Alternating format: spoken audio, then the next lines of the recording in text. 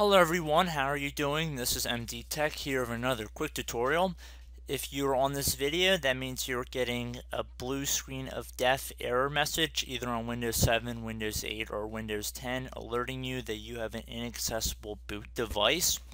Now, the first thing I would do, or the first couple things I would do before trying anything that we're about to go into with this video is unplug any external hard drives or flash drives you may have on your computer. If you have anything that the computer could confuse with your main hard drive or main partition, just get rid of it. So after you try that, I'm assuming that most of you are not able to boot into Windows at all, but if you're able to get into safe mode, I would recommend trying to remove the USB drivers from Device Manager and then let Windows automatically try and reinstall them. That might be getting in your way as well. So if you're able to get into safe mode and try and run the device manager, go for that. Definitely remove any flash drives that are on your computer. And if we are still stuck in this position, are probably going to be getting an automatic repair alert and then you're able to run different troubleshooting tools. So I'm going to go underneath troubleshoot here now we have plenty of different options we can go with here.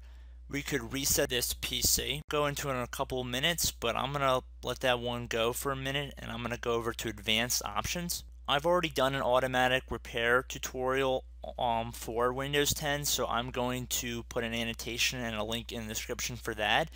However, what I am going to do is show a couple different potential solutions here. So in the automatic repair video, I go over startup repair in this tutorial, I'm going to be going over a couple different items here. First, we're going to try doing a system restore.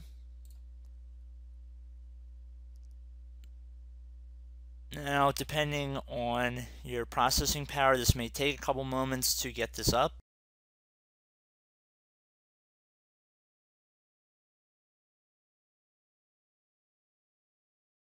Okay, so once we're under the system restore window, we could select an account in which we are looking to restore.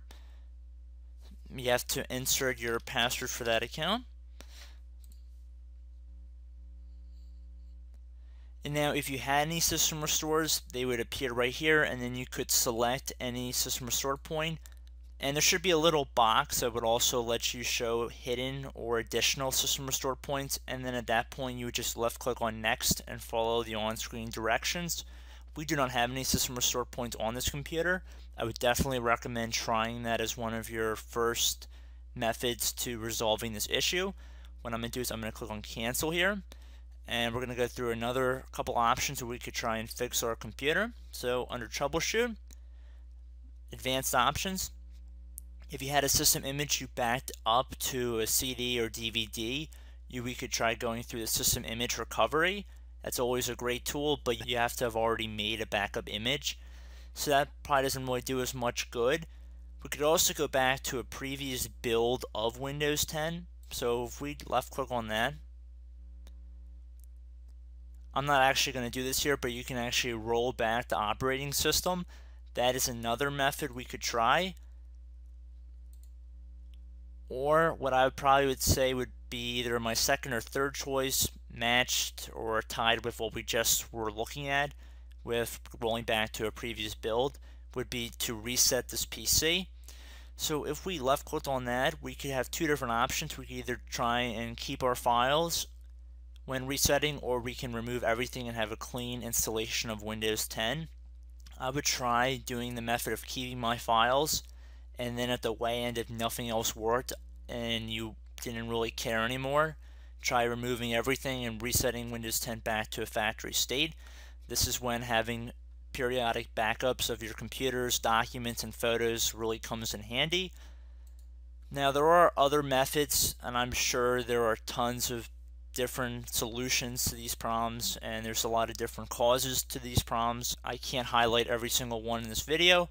I'm just going through three that I think could be useful to you guys. In addition to the automatic repair video I will have in the description.